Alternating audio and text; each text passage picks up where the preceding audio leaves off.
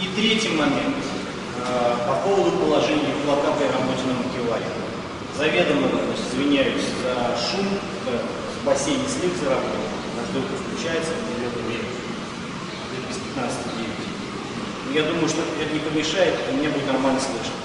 Значит, опять же, почему э, кулак должен быть в разном положении при разном типе работы на макеваре?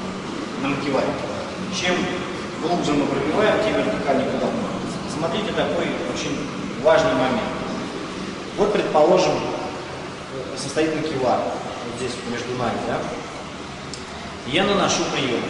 Разворот кулака в согнутом положении всегда сопряжен, если мы полностью разворачиваем кулак, то получается что?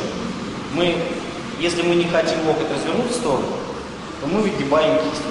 Я в этом положении кулак разворачиваю, он стоит, разворачиваю. А у меня поверхность, вот, по которой бью я, находится вот здесь. Мне приходится выламывать И в этом положении воздействует дальше. Кулак идет на пересгиб, излом. То есть я бью и хочу значит, удар нанести сюда. То есть вот у меня боек вот здесь находится. Мне на самом деле пробить надо глубоко. Боек мне надо туда глубоко пробить. Туда. А с плеча я боек вот здесь. Вот. Пробиваю туда. Если у меня кулак в таком положении придется, а локоть я не буду разворачивать в сторону, то кулак у меня в изломе. И пробить я не могу. Есть другой вариант. То есть я разворачиваю кулак, но выламывать его не хочу. Соответственно, что приходится делать? Мне приходится в сторону вывести локоть. Ну, кулак прямой тогда. Ну, выводится локоть в сторону. И что получается? Вот по этой смокиваре локоть в стороне, и мне воздействовать приходится через согнутую руку, рычаги получается. Получается лишний демпфер, очень большой.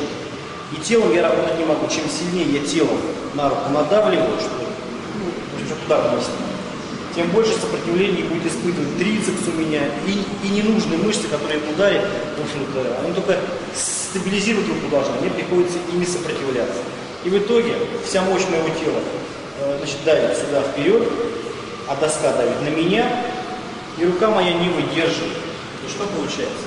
Я бью, локоть в стороне, и мне не продавить. Попробуйте продавить макевар. Ну вот такой вот согнутый рукой. Никогда в жизни, как бы вы не давили тело, демпфер, вот этот вот, не даст вам это дело сделать. Это можно только в том случае, если сделать, когда вы работаете телом, когда локоть приведен ближе к средней линии. Согнутой рукой. Прошу прощения. Согнутой рукой. Можно запросто пробивать макевар, продавить. Это я вперед забегаю к вопросу про то, а, а как же бить всякие боковые удары, там, да, э, снизу. Согнутой рукой макевара пробивается запросто. Нечего делать. Но при этом всегда локоть должен стремиться к средней линии, он не должен быть отведен очень далеко в сторону. Только тогда сохраняется трансмиссия правильная хара и руки. Только в этом случае. То есть когда хара движет локоть между харой и локтем, как будто вот так арматуру приваривает. Тогда вы работаете всем телом, у вас работает очень жесткая рука. Так вот, только тычком, работая всем телом, можно пробить макевар на глубину. Э, ударом Сайтян Чоковский я буду его рассматривать сейчас. Как самая распространенная техника, да, постановки приема. Про другие потом расскажу. Там что получается? Так вот, если я ставлю, если я бью на пробив, то есть туда далеко, кулак мне приходит и вертикально, что при этом происходит? Мне не надо не выламывать кисть, не выводить локоть в сторону. То есть не надо совершать этих двух ошибок. Кстати, если вы локоть в сторону выводите, а макевар стоит вот так, у вас кулак вот так выламывается, в таком еще ключе. То есть больше, чем надо. Сюда происходит отклонение. Если же я бью вертикальным кулаком, у меня рука никуда не выводится, ни локоть, не выламывается кулак, ничего не надо. У меня абсолютно ровно и прямо работает рука в ударе. Так как это в сейтен должно быть. То есть рука трется по корпусу и выходит вперед. Если даже она встретит мишень очень близко, у меня никуда ничего не уйдет. Вот так. Или вот так. Никуда. Абсолютно правильно. Ровно. Пам. Пам. Близко. Дальше. Так. Ну, посмотри, что происходит. Ну, таким образом. Таким образом. Вот.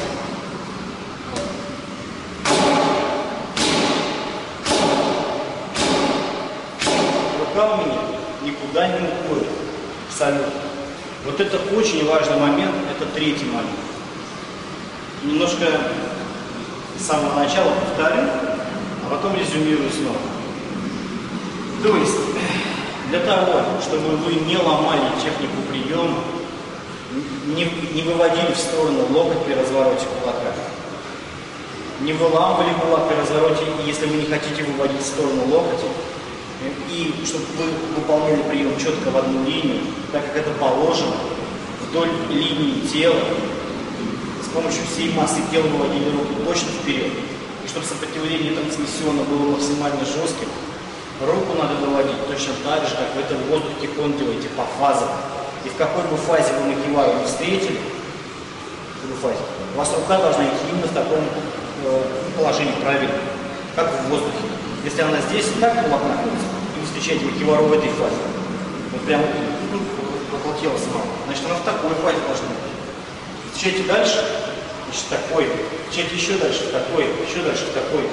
То есть чем вы глубже пробиваете прием, тем, соответственно, боек вам располагается ближе. Это само собой. Чем ближе боек к вам, тем более у вас. А при некоторых даже положениях, когда боек совсем рядом находится, у вас кулак даже в уро положении повернут, у вас уже получается прием урцкий. Чуть дальше это дальше это под 45, и дальше кулак полностью повернут. Понятно, да? Это по расположению тела к макеваре. Как бойку. Если вы работаете на макеваре без отбойника. Если вы работаете на макеваре с отбойником, вы всегда понимаете, что при постановке удар глубокого вы работаете вот по этой доске, а не по этой. Эта доска, как бы ее нет, она просто мешает вам бить, вы это сопротивление должны преодолеть. Вот вы всегда меряете, что там будет вот так. Вот так. Значит, соответственно, прием у вас стандартную фазу делаю, выбираю. Так, значит, на макевару придет рука, вот в этом положении. Только так. Тогда у вас абсолютно правильно, никуда ничего не будет уходить. Резюме. То же самое.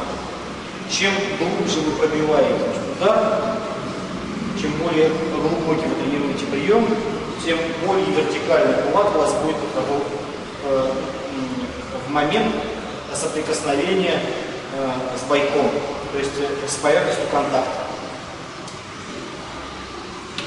Чем глубже пробиваете, тем более вертикальный кулак. А при некотором даже положении, когда тело располагается очень близко, рука даже поворачивается в кулак. Это очень важный момент. О них вам никто не расскажет вообще, по крайней мере, э, с теми, с кем мне доводилось э, разговаривать, из э, ну, знакомых на семинарах, до них почему-то мастера не донесли вот этих вещей. Видимо, не знаю, с чем это связано, даже переписывался много на форумах, но никто об этом практически не может ничего рассказать и, и нормально написать. Думаю, что вот э, мои вот эти видеоподкасты, эти видеолекции, они помогут вам понять важность этой вещи. Я знаю, с чем, собственно говоря, это ну, связано. Связано прежде всего с тем, вот непониманием этих вещей и, не, и поэтому неприменением в жизни. Э, ну, при тренировке назовем. Связано с тем, что макевару прежде всего рассматривают как снаряд для набивки. И никто ее не пытается глубоко пробивать. А те, кто уже хорошо набили и пытаются глубоко пробивать внутри, они применяют ту же методу, значит, которую применяли при набивке. И в итоге, как бы глубоко они бы ее не пробивали бы потом, они все равно уже кулак доворачивают, потому что ну, привыкли так делать.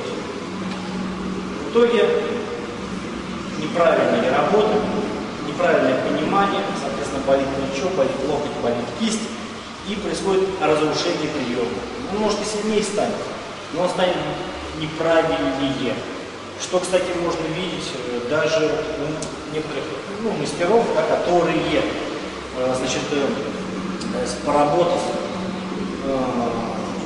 несколько десятилетий на макеваре, воздух в макевару приемы вообще по-разному наносят абсолютно. Например, вот очень часто можно видеть, очень часто можно видеть, что по макеваре сейкен чебурски не бьют в середину, а бьют вот так вот. То есть вот стоит макевара, и когда сейкен ней, то бьют не в середину приема, а бьют вот сюда. Ну, если пытаются пробить глубоко. А воздух бьют сейкен в середину тела. Вот правильно, противник как посередине тела находится. Сейчас я расскажу э, и про это.